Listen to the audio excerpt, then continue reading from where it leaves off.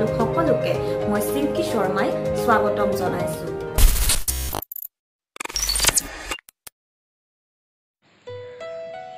নমস্কাৰ। আজি মই আপোনালোকক লৈ যাম নলবাৰীলৈ। নলবাৰী বুলি ক'লে আচলতে মনত এনেকুৱা এটা ভাৱ আহে যে নল নলবাৰী আচলতে এখন সাংস্কৃতিক নগৰী বুলি ক'লেও আচলতে ভুল নহয়। আচলতে নলবাৰীৰ পৰাই সৃষ্টি হৈছে বহুতো কলা বহুতো সংস্কৃতি বহুতো প্ৰতিভাৱান ব্যক্তি।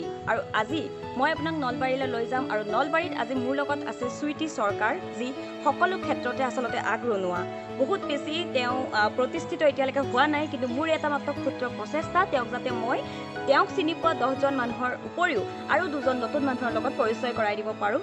তো আহক তেতিয়াহ'লে আমি আজি চুইটিৰ লগত কথা পাতোঁ।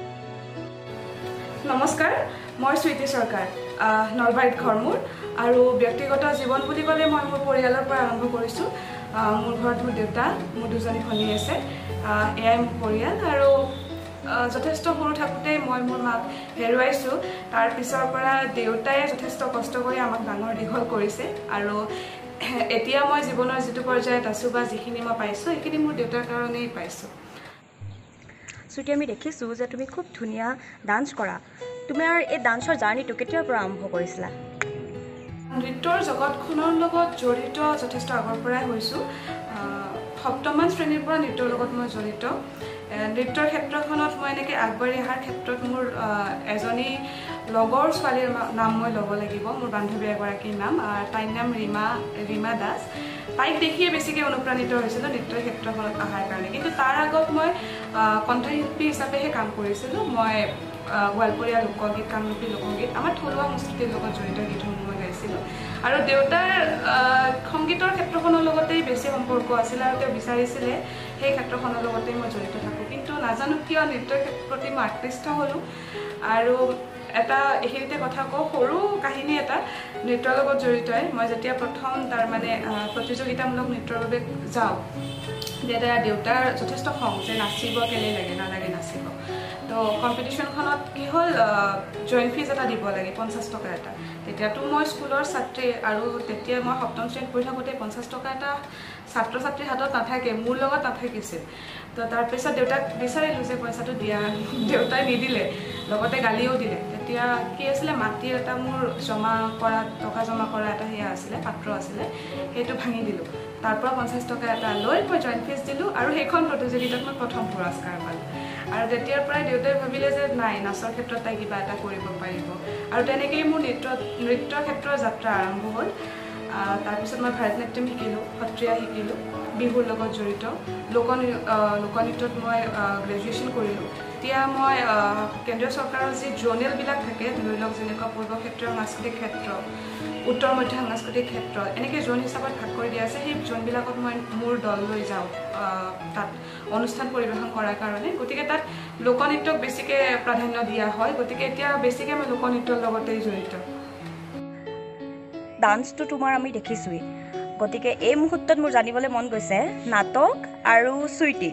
মানে চুইটিয়ে নাটক কেতিয়াৰ পৰা অভিনয় কেতিয়াৰ পৰা আৰম্ভ কৰিছে আৰু ভাল লগা নাটকখনৰ এটা ভাল লগা সংলাপ। অভিনয়। ষষ্ঠমান শ্ৰেণীত পঢ়ি থাকোঁতে নলবাৰীত এটা দল আছিলে নলবাৰী আৰ্টছ কালচাৰ এছ'চিয়েশ্যন বুলি। তাত ৰাতুল গোস্বামী ছাৰ তাৰপিছত সুশীল মেধি খুৰা তেনেকৈ নলবাৰীৰ কেইজনমান অভিনয়ৰ লগত জড়িত বিশিষ্ট ব্যক্তি তাত লগ লাগি সেই দলটো চলাই আছিল। তো ষষ্ঠমান শ্ৰেণীত পঢ়ি থাকোঁতে সৌভাগ্যবশতঃ এটা চৰিত্ৰ মোৰ লৈ অফাৰ হয়।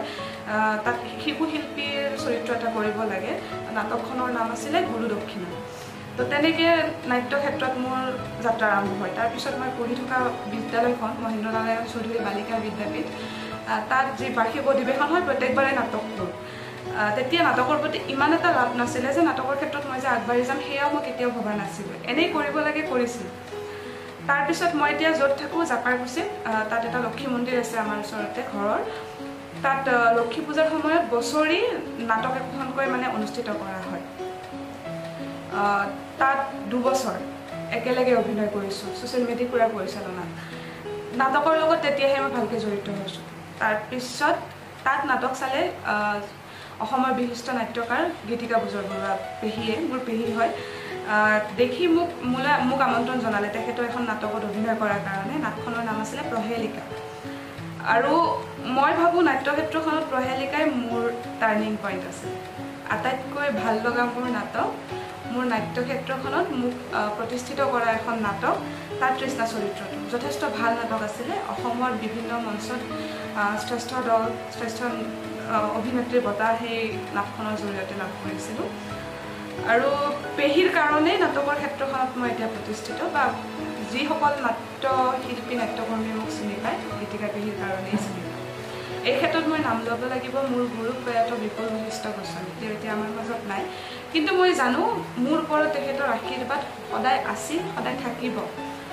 তেখেতেও মোৰ মোৰ লগত যথেষ্ট কষ্ট কৰিছে যথেষ্ট কষ্ট কৰিছে। তেখেতে মোৰ প্ৰতিষ্ঠিত কৰাৰ ক্ষেত্ৰত যথেষ্ট কষ্ট কৰিছে। লগতে আমাৰ নাট্য দলটো অনাথ বিকাশ কেন্দ্ৰ নলবাৰী।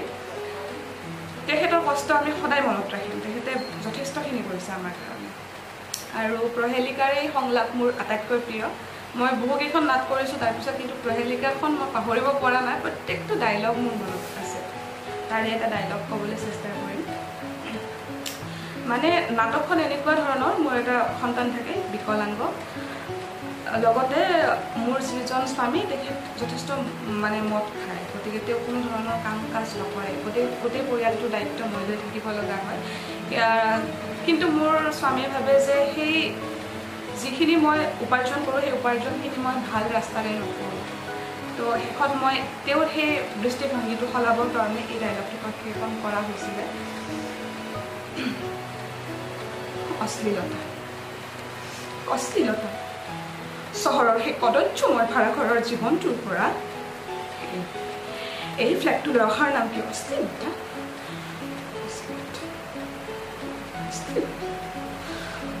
ঘৰখনৰ প্ৰয়োজনীয় টিভি ফ্ৰিজ ৱাশ্বিং মেচিন আনকি আনকি বিলাহী গাড়ীখনেৰে ঘৰখন সজোৱাৰ নাম কি অশ্লীলতা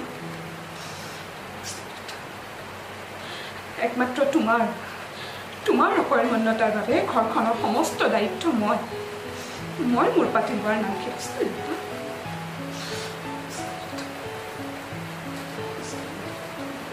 এইটোৱে সংলাপ আছিলে। এতিয়া ইমান এটা ভালকৈ হয়তো কৰিব পৰা নাই মই। মোৰ প্ৰিয় সংলাপ মোৰ প্ৰিয় নাটক এইখনেই আছিলে নাটকৰ পিছতেই মই চিৰিয়েল এখনত কাম কৰাৰ সুবিধা পাইছিলোঁ আৰু বৰলাকাই কাজল চৰিত্ৰটোত মই অভিনয় কৰিছিলোঁ। ভাল লাগিছিলে চিনেমিডিয়াত কাম কৰিও। তাৰ আগত মই দুই এটা গীতত কাম কৰিছোঁ এলবামত আৰু লগতে এখন চুটি ছবিত অভিনয় কৰিছিলোঁ। সাংস্কৃতিক এই জগতখনৰ লগত তোমাৰ আৰম্ভণি কেতিয়াৰ পৰা আৰু কেনেকৈ হৈছিল? সপ্তম শ্ৰেণীৰ পৰা মোৰ গ্ৰেজুৱেশ্যনলৈকে মই প্ৰতিযোগিতা কৰিছোঁ। সকলো ঠাইতে গৈছোঁ অসমৰ সৰুৰ পৰা ডাঙৰলৈ প্ৰত্যেকখন প্ৰতিযোগিতাত মই প্ৰতিযোগী হিচাপে অংশগ্ৰহণ কৰিছোঁ। এতিয়া আৰু প্ৰতিযোগিতা কৰাৰ বয়স নাই। লগতে এতিয়া বিচাৰক হিচাপে আমন্ত্ৰণ কৰে। আৰু মই নাচি অহা পুৰস্কাৰ পাই অহা মঞ্চখনত যেতিয়া বিচাৰক হিচাপে যাওঁ সঁচাকৈ যথেষ্ট ভাল লাগে। আৰু বিচাৰকৰ আসনখন এটা সন্মানীয় আসন এখন যথেষ্ট সন্মানীয় আসন।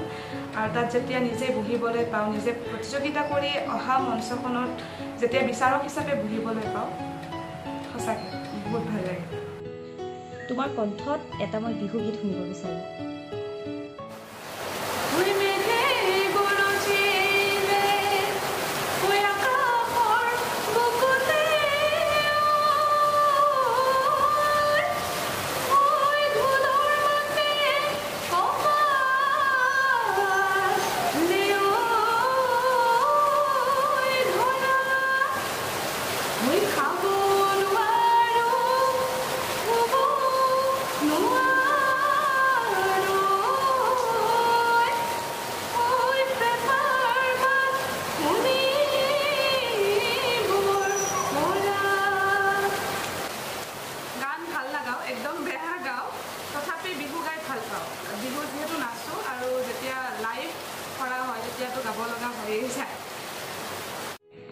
আৰিয়াছ ৱৰ্ল্ড ইউটিউব চেনেলটোৰ বিষয়ে তুমি কি ক'বা?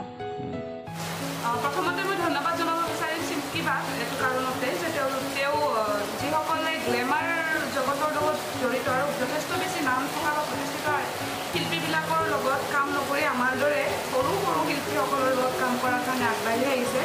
আহ, তাৰ কাৰণে ধন্যবাদ জনাইছোঁ। কাৰণ অসমত যিকেইটা ইউটিউব চেনেল আছে বেছিভাগেই মই সকলোবোৰক নকওঁ বেছিভাগেই এই গ্লেমাৰাছ আৰ্টিষ্টখিনিৰ পিছতেই লাগি থাকে।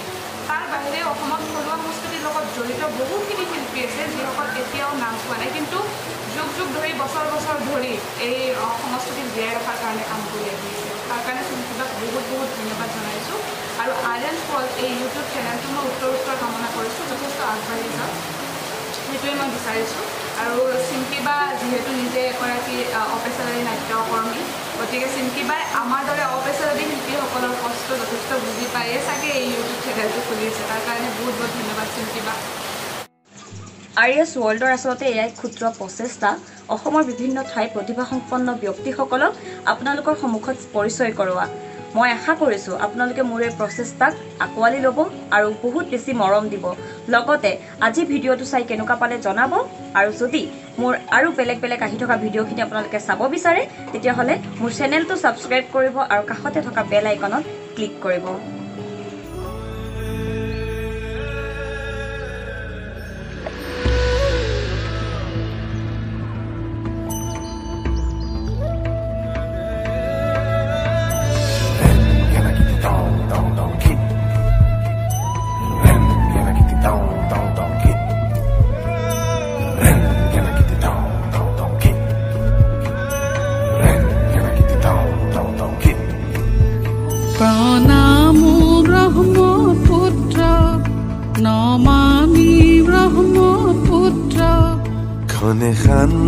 তুমি ক্ষণে ৰুদ্ৰ। পলে পলে নৱ নৱ চিত্ৰ। চিৰ প্ৰবাহিত।